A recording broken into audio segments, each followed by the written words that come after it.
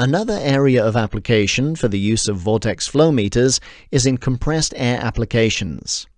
Nearly every production plant has a compressed air network, but only rarely those networks are adapted to reflect actual consumption rates.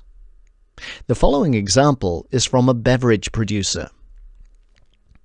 In view of rising energy and production costs, the company decided to implement improved and greater monitoring of the compressed air network.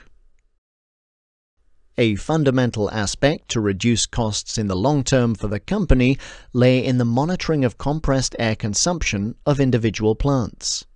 The drinks producer also wanted to monitor the efficiency of the compressor by determining the air delivery volume.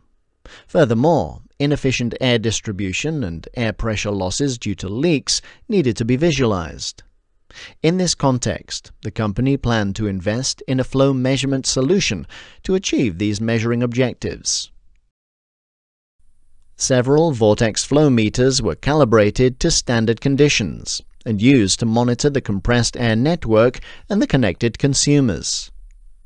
The measuring devices are used in the supply lines of individual plants, such as beverage filling, to monitor the consumption. In addition, directly behind the compressor, a measurement of the air delivery volume and the FAD value is carried out in order to monitor the efficiency of the compressor. Let's look at the FAD measurement in this application more closely. To determine the FAD value, the flow rate, the operating temperature, and the operating pressure at the compressor outlet side is measured.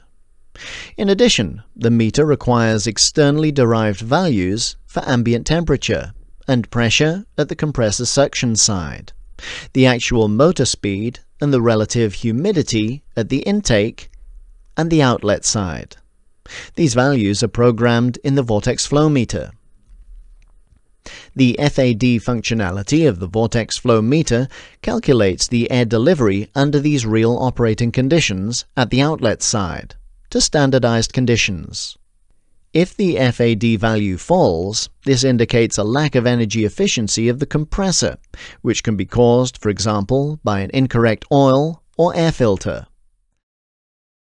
The vortex flow measurement solution has several advantages for the beverage producer. It helps the user create consumption profiles of individual plants. The beverage producer also benefits from a very cost-effective measurement of the FAD value of its compressor. Necessary maintenance of the compressor can therefore be scheduled and carried out based on actual requirements. Vortex flow measurement also enables effective leak detection in the compressed air network. The fact that all leaks can be eliminated, the drinks manufacturer can reduce the runtime of the compressor and the auxiliary compressor must be used only rarely if at all. The drinks manufacturer can also now visualize any unfavorable distribution of compressed air quickly. By optimizing the air distribution, the problem is often solved quickly and without replacement of the compressor. In the best case scenario, the pressure at the compressor can even be reduced. Música